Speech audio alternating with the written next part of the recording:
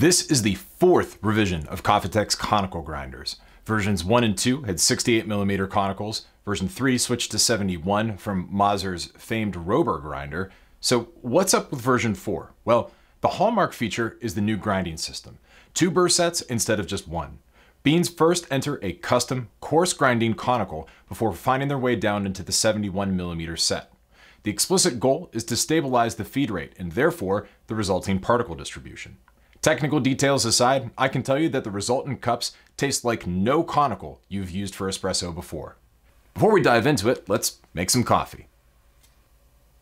This shot here is taken with the actual dosing funnel slash cap off. You're able to see how the beans are being fed down into the coarse burr set through the almost impelling arm that is making sure that no beans get caught on the wall.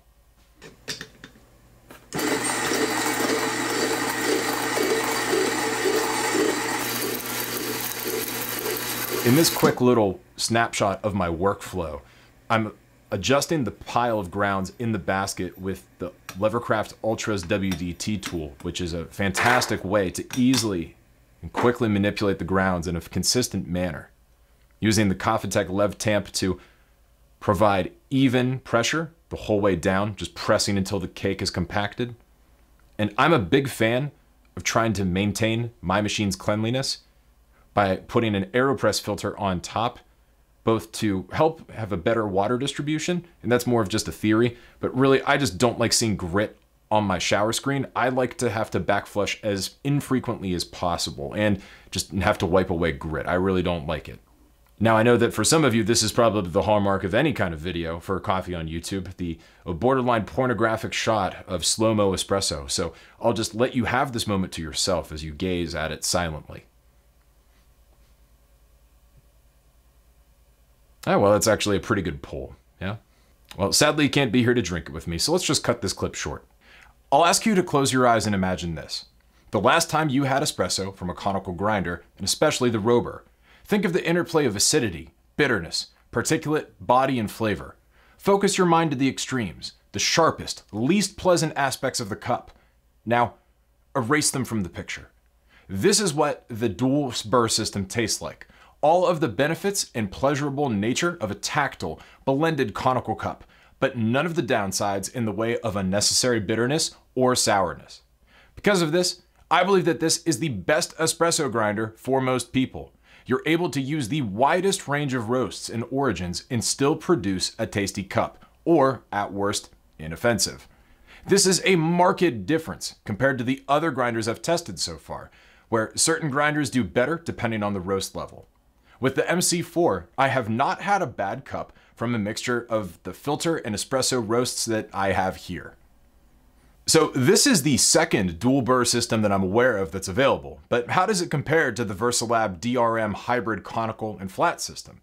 Well, besides using this coarse breaking conical set, Kafatek stresses that a key difference between this and the DRM system is an intentional buffer space between the burr sets. They aren't stacked directly on top of each other. This is to allow particles to be fed at a more consistent rate into the fine grinding portion of the 71mm set by allowing the spacing and the coarse section of the second burr to act as an auger for feeding. I'll say it now, this grinder has earned a place on my bench. I have no plans at this time to replace it. Going back to my description of the flavor, I want to expand on the inoffensive bit. I do not think that this cut profile will be universally loved. It does such a good job of cleaning up the cup that those who prefer intentional bitterness and sourness blended into their beverage will be disappointed.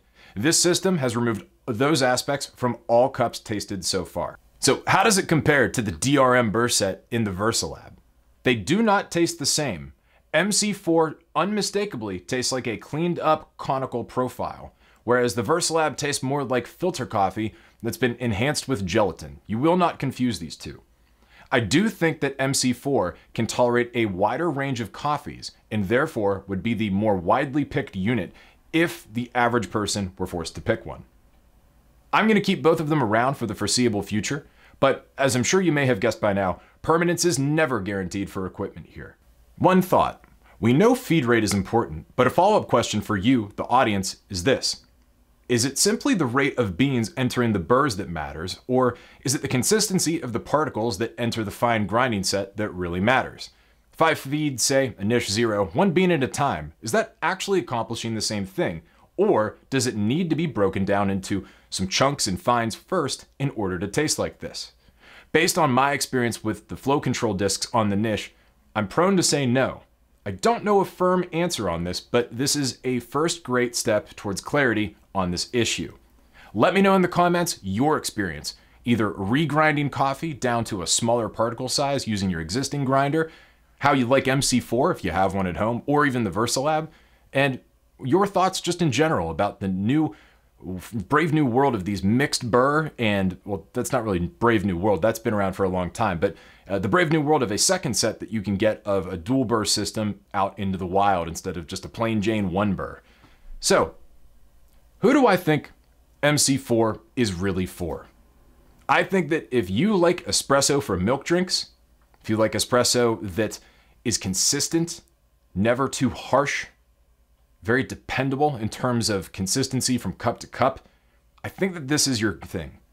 If you are trying to push the boundaries on extraction yield, you're okay with a thin cup that is more reminiscent of water than jelly or even mud, then this is not going to be for you.